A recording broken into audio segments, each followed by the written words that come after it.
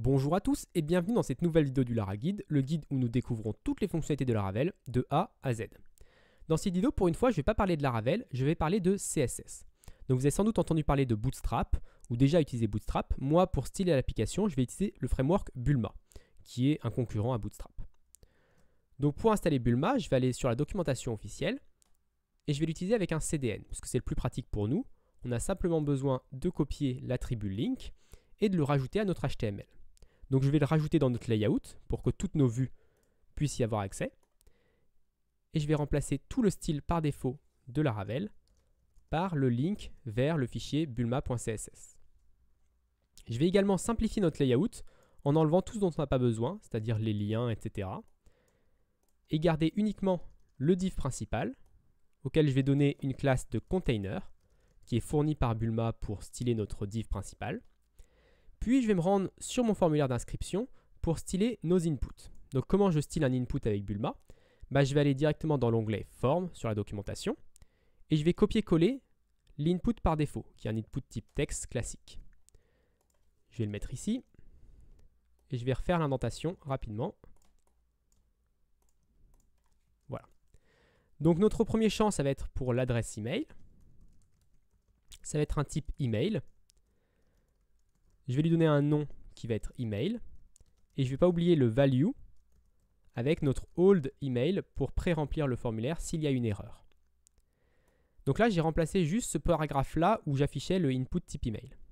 Maintenant, pour l'erreur, Bulma nous fournit également des classes utiles qui est help is danger pour afficher une erreur. Donc là, j'ai juste à rajouter à mon paragraphe la classe help et la classe is danger.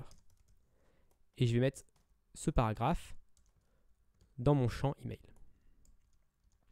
Donc voilà pour email. Je vais faire la même chose pour le mot de passe. Donc là, ça va être mot de passe. Ça va être un type password, le name password. On va pas mettre de value parce que c'est une mauvaise pratique de re-remplir le mot de passe. Et pour les erreurs, je vais remplacer email par password. Et la même chose pour la confirmation du mot de passe.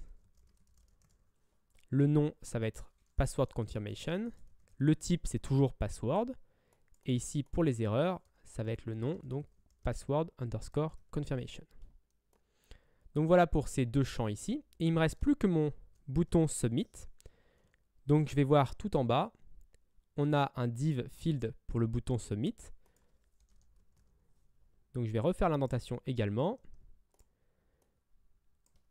J'ai besoin que d'un seul bouton, pas besoin de bouton cancel pour moi. Donc j'ai pas besoin que ça soit isGrouped, j'ai juste besoin d'un class field, class control, et à l'intérieur j'ai mon bouton submit, où je vais dire m'inscrire. Et je vais lui donner le type submit. Et donc ça, ça va remplacer mon input type submit. Donc voilà pour mon formulaire. Maintenant, si je me reviens sur mon Firefox et que je réactualise le formulaire, on a un formulaire qui est bien plus stylé. Euh, je vais juste décaler un petit peu le formulaire du haut de la page, là, en rajoutant une balise, enfin une classe section à mon formulaire. si je réactualise, là, voilà, c'est un peu plus aéré. Donc si je teste mon formulaire maintenant, que je donne un mot de passe trop court volontairement, que je clique sur m'inscrire, j'obtiens bien le message d'erreur, le mot de passe doit être au moins de 8 caractères. Donc voilà sur cette petite vidéo d'introduction à Bulma. Je pense pas qu'on ira plus loin sur le CSS dans ce tutoriel, mais dans la prochaine vidéo, on va voir comment traduire ce texte-là en français pour éviter d'avoir de l'anglais sur notre application.